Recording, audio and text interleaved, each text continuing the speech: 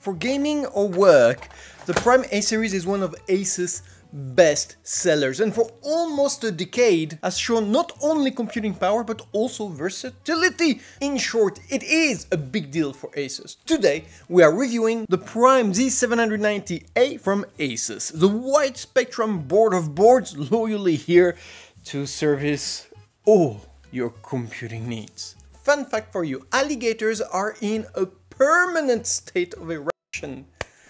Permanent. Educate the masses. That's that's what I say.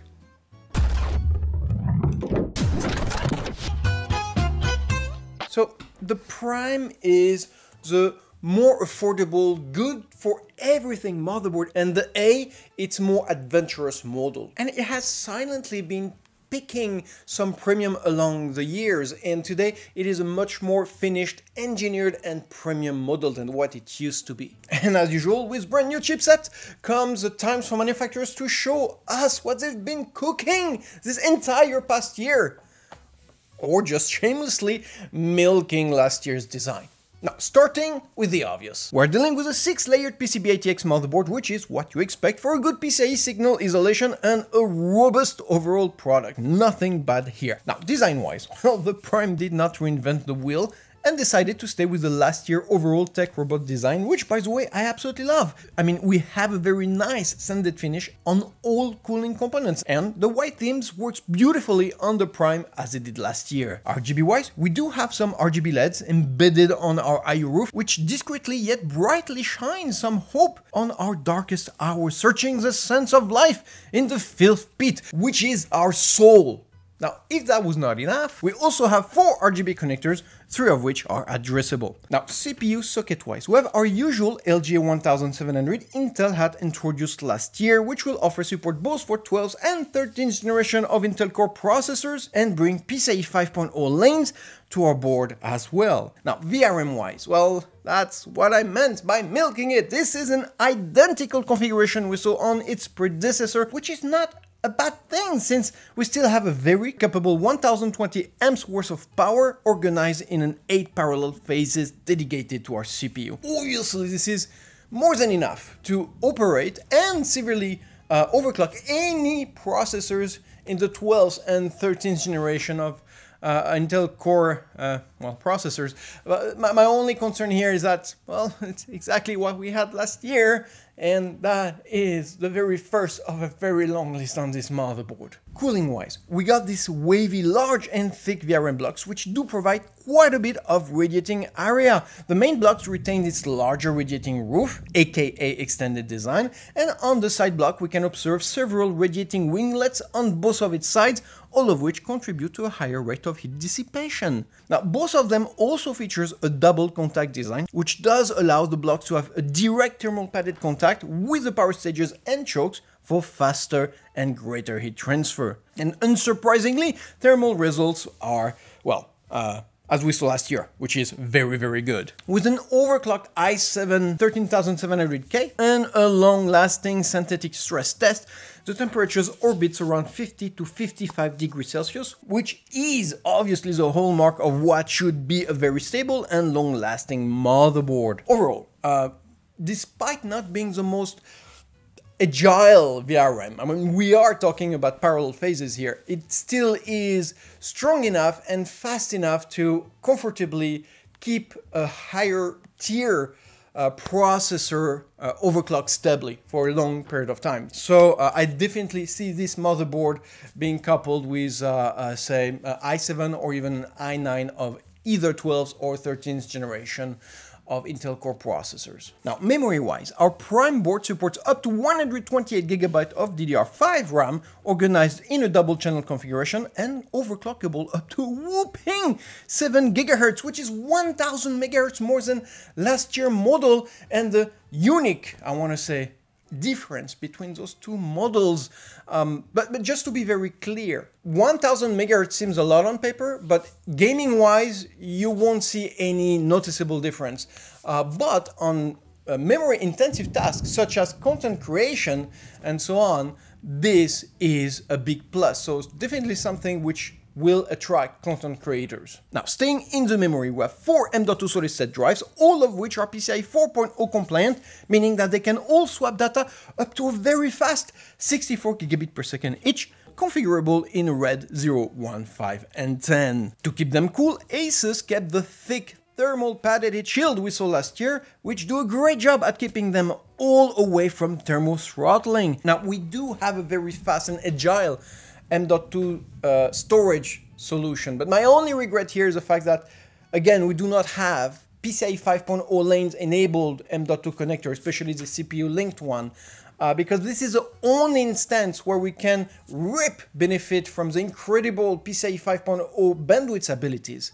And something that I would suggest Asus and any other manufacturers to do uh, in the uh, you know iteration motherboards to come, if that's a word or a sentence. But on the plus side, all of our M.2 solid state drive get the screwless treatment I like so much and that Asus did introduce a couple years ago absolutely love them. SATA-wise, we have four Jurassic era SATA plugs, which will do everything they can to support your dust-collecting legacy drives. Now, exports-wise, we do have five export slots, two 16 slots with different speeds, a dual slot, and two bachelor slots. As usual, our fastest is the closest to the CPU and provides 16 PCIe 5 lanes, swapping data up to whooping 64 GB per second. Therefore, this is where you want to place your GPU for optimal performances, hence the metallic reinforcement. Now, the other 16 slot runs 4 lanes at a fast PCIe 4.0 standard for a total of 8 GB per second each, another small upgrade when compared to uh, its last year 4 gigabyte per second available bandwidth, but to be honest, not much you and your build will notice anyway. And again, I need to point out that having a PCIe 5.0 enabled GPU slot is totally useless since we will not have any video cards uh, uh, worthy of the PCIe 5.0 standard until at least 2026, a prediction I've been making and that I shall keep. But instead, again, much wiser to get this PCIe 5.0 lanes redirected to the M.2 connector. Maybe I am pissing in an empty violin.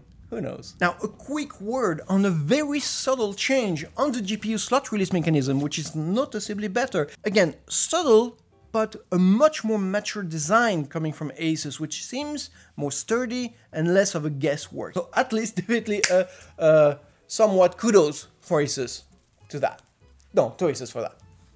Now, back IO wise, first let me note the presence of a padded integrated back IO plate, very nice, and starting from the left we got a DisplayPort and HDMI output for our integrated graphics, four third generation USB plugs able to transfer data up to 5 gigabit per second, four 3.2 second generation USB plugs able to transfer up to 10 gigabit per second, except this Type-C, which runs on a dual channel and can therefore spew up 20 gigabit per second, earning its unofficial USB 4 naming. Our dual-band Wi-Fi 6E adapter, able to transfer in that cleaner and much faster 6 GHz spectrum. Next we have our 2.5 gigabit LAN and our rather premium 8-channel 1220S audio codec from Realtek, which even slightly aged does a great job at providing a rich audio experience both in gaming and other sound shenanigans. But most importantly, it has a very good um, studio-grade recording abilities which you know should please uh, uh, streamers and content creators out there. My only regret with it is the disappearance of the SPDIF output, which did add a nice premium audio playback touch. Overall, and again, apart from the addition of a Wi-Fi 6 module, which by the way is a very good thing, we have the exact same back I.O. we had on last year's Prime Z690A, which is a little disappointing. I, I would have loved to see a little bit more uh, USBs, you know, bandwidth related stuff, but it's not there, so maybe Asus for next time. Now, chipset wise, the Z790 chipset doesn't exactly break boundaries either. On the good side, it stays at a very cool 6 watts footprint, allowing a rather small and light heat shield to keep it cool at all time. But for the rest, apart from a slightly higher PCIe 4 lane count and a slightly greater total PCIe bandwidth, we are dealing with an identical chipset than seen last year. Front panel connector wise, well, again, nothing new. Our usual two USB second generation front panel connectors, great for monitoring,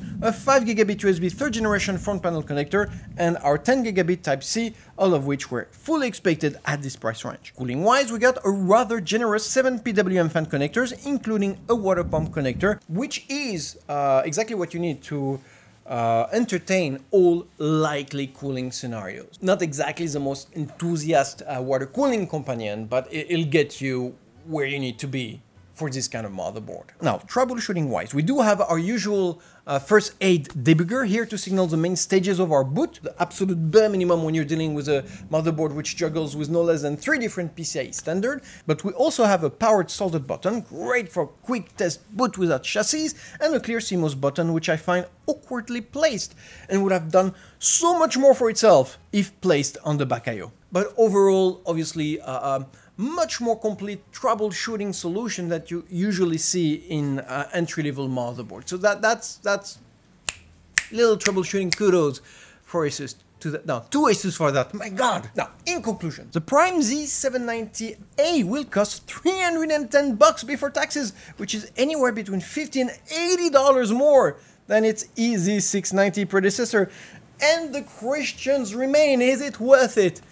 Ha! Let me say Between last year Prime Z690A and this year Prime Z790A, I have rarely seen such similar, to not say identical products. Going from design to VRM solution, passing through the storage and USB features, they are both mirror image one to another. I mean, I feel that the evolutions and upgrades are simply uh, too small, too minute uh, to account or to motivate any kind of price increase. I mean, do not get me wrong. This is um, um, a very fine and, and powerful and well-featured and robust motherboard. It is a great foundation for a mid-budget PC, but mainly because its predecessor was. In a nutshell, if you are already rocking a Prime Z690A, you do not need to upgrade at all. It'll make you more mad than happy believe me. And if you have nothing and looking for great, sturdy, powerful, long-lasting mid-budget motherboard, well, you're in luck because the Prime Z690A last year model just went down in price.